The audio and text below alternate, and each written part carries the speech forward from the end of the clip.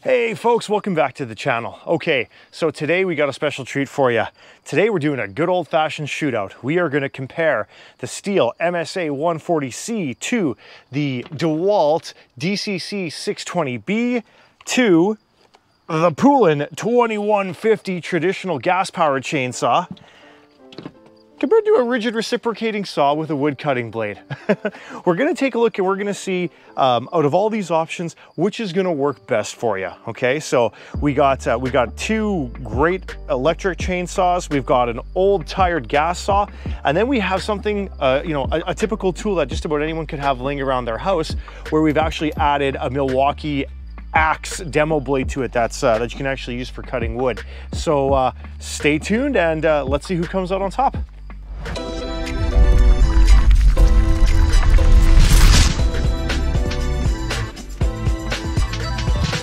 Okay folks, so to get things started here in our shootout, I'm gonna start with the gas one, the old traditional gas one. So um, again, this isn't, it's not quite an apples to apples comparison, right? The two chain, the two electric or battery powered chainsaws we're gonna take a look at are 12 inch bars. This fellow's got a 16 inch bar on them, okay? So a little bit bigger. Um, weight wise, this thing's probably about 13-ish, 14-ish pounds as it sits, okay? Um, had this one for a number of years. You're gonna see some of the struggles that I have with this one throughout the video and why I've been looking for new chainsaws, okay? And again, these are some struggles that I'm sure that a lot of people have had. So first thing I'm gonna do is I'm gonna prime this guy. Okay, a couple squeezes on the primer, flip him to the on position. Now I'm gonna manipulate my choke and we're gonna attempt to start this thing. First cut we're gonna make is through a four by four, okay? Once we get through the four by four, then we're gonna move on to a railroad tie with it and we're gonna see roughly how long it takes, okay? So here we go.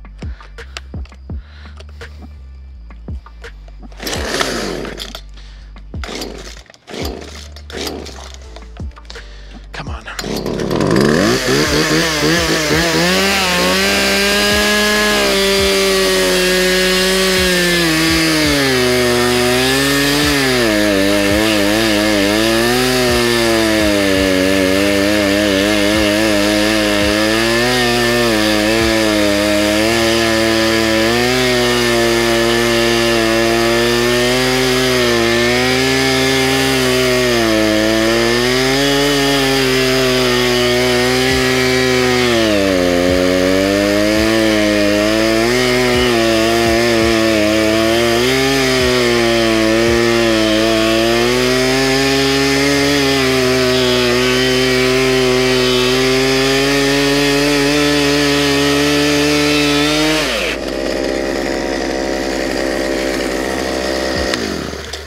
Okay, I'm gonna call that one right there. Didn't even get all the way through the 4x4. Now, biggest reason for that likely is gonna be dull chain, but this is something that you can't pick up on YouTube. The smell, the exhaust, the noise that this thing puts out, okay? Um, yes, with a sharp chain, I'm pretty confident I probably would have chewed through both of these without, uh, without too much issue. Um, but again, that's just something we got to be mindful of here. Uh, the noise, the exhaust, it's, you saw, it took me a few different tries to get this thing going. I was actually going full throttle all the way through here. Um, and you could hear the saw laboring, right?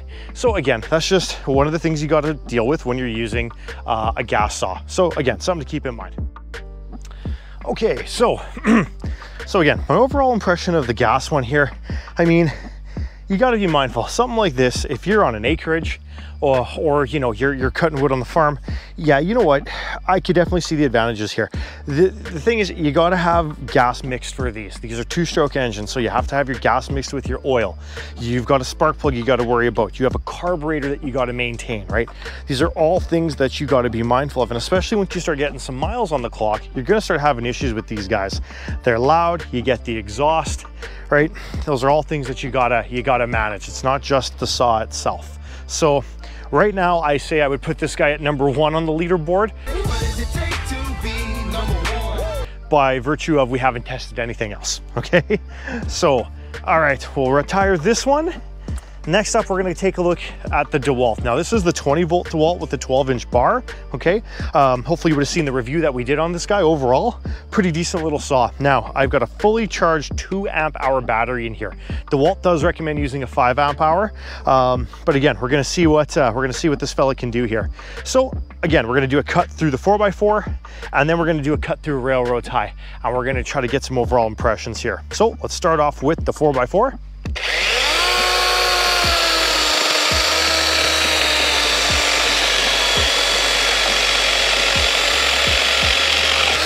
Okay, so right off the hop, compared to the tired old uh, Poulan, you can see what a difference, eh?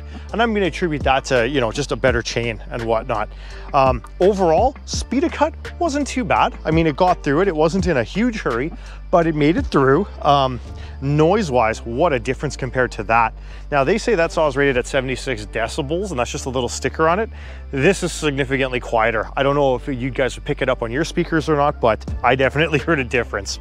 So that's the 4x4. Let's go ahead and rip through this, uh, this railroad tie here and see what we get.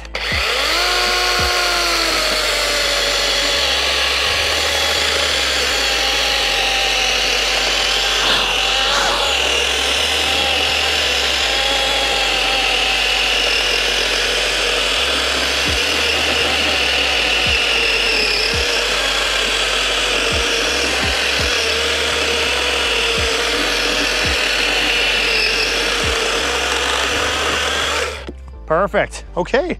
Overall, uh, you know what? Really clean cut. Can't complain there. Not too much tearing or anything like that. Again, not in a huge hurry to get through the material, but overall, saw felt really good in hand. It's really comfortable. Um, DeWalt puts a lot of thought into how they design their equipment. I'll, I'll give them that. When I look at the ergonomics, I look at the way that hand grip is shaped, very comfortable in hand. Um, the saw is light. If you got to put some downward pressure on it, it's actually not too bad. I really don't mind it. Um, Again, my biggest thing is capacity of battery. I think that would make a pretty big difference. Um, but overall, folks, I think we got a new leader on our hands. All right, so we'll pop that guy down here.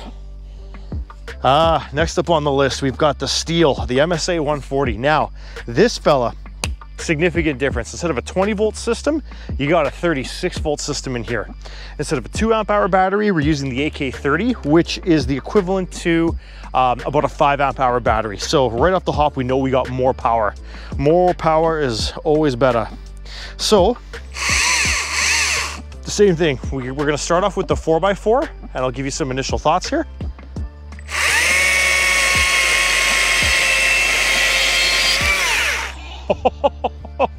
okay, no contest. this thing sliced through that 4x4 like a hot knife through butter. If you watch my initial review on this guy here, um, a little more setup goes into it out of the box, whereas the DeWalt, you literally pull it out, throw oil in, slap a battery in, and you're good to go. This thing honks, okay? It, it just sliced right through there like nothing. Okay, I'm expecting more of the same on the uh, on the railroad tie here. So let's get it queued up.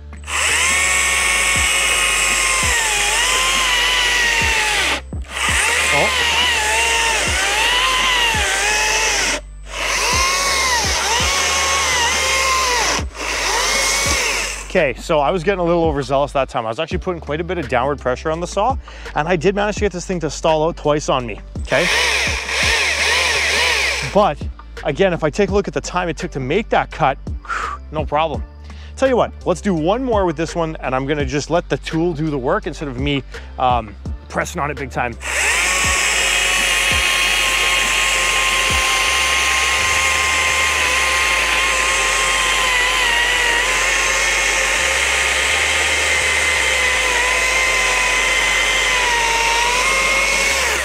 Okay, there it is.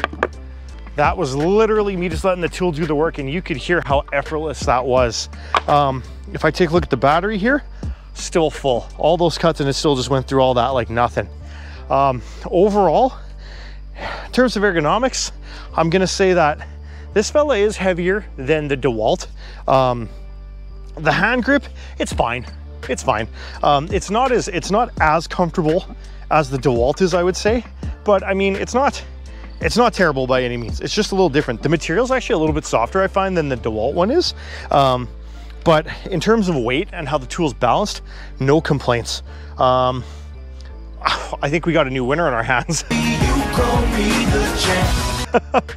um, now the, the big challenge though is when you look at when you look at price between these two guys. Okay, um, so I think it's a foregone conclusion to say I, I think I'm past gas. Make any jokes you want there, but. Uh, you know, when I'm looking at a bare tool cost, this fella here is around 259 Canadian. This fella here is around 399 Canadian. Again, that's bare tool prices. Now, obviously, you know, there's deals, sales, discounts, things like that that you can find.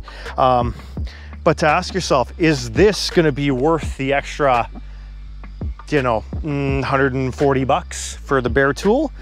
Uh, that's gonna be up to you. Um, my experience cutting through this was fantastic. I would say that if you had Stihl yard equipment already, then this is probably gonna be a no-brainer for you because you, you, you bought into that battery ecosystem. Okay, so um, again, if you bought into the battery ecosystems already, you know, you're, you're gonna be okay here. Um, but again, I can also say the same thing for the DeWalt, right? I believe with a more apples to apples comparison, a more powerful battery, that this thing would shine a little bit better, okay? So I'm just kind of putting these in order of what I think is best now. Let's say you're on a budget and you maybe can't afford one of these chainsaws, but you got to get something cut. If you got a reciprocating saw at home, you can always go ahead, you can purchase one of these Milwaukee um, axe or, or uh, limbing blades, and you can use these things for trees. As a matter of fact, last summer, I actually took down um, an entire uh, an entire cedar with one of these alone because I was having so many issues with the Poulan. Okay, so like I said, if we're in a pinch and always got as a reciprocating saw, we can try out that, uh, that Milwaukee demo blade. Let's see if we can get through a 4x4 realistically. I think we will, but uh, let's just see what the experience is like. Okay.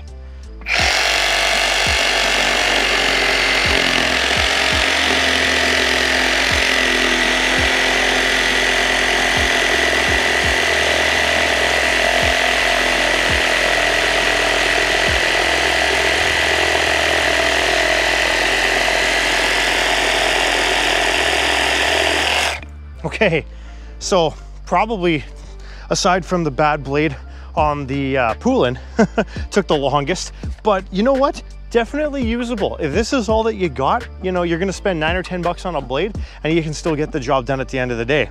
Am I gonna try this on a railroad tie? Not likely, but they do actually make, I think, a 12 inch version of this. So who knows, this might be feasible for you. And that is also with a two amp hour battery on here.